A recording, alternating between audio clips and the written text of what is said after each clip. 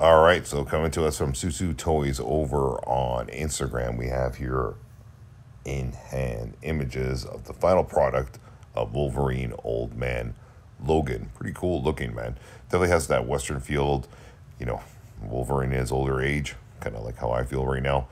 Got the claws, he's got the jacket, he's got the old Western belt there, he's got the gun there. Looks really, really, really cool. Actually, I really like the look of this one. Think, think if you have pre-ordered this one, you're going to be very happy with this one. It's fresh, it's new.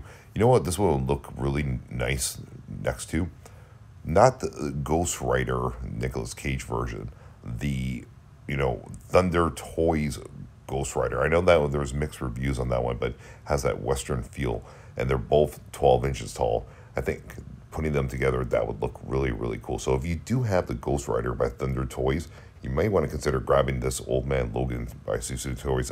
And I think they just look really cool next to each other. No doubt about it. Anyway, check it out right now on Instagram. Link in the description of the video. Uh, you have to be a follower of Soosoo Toys, so if you want to see more, send them a request.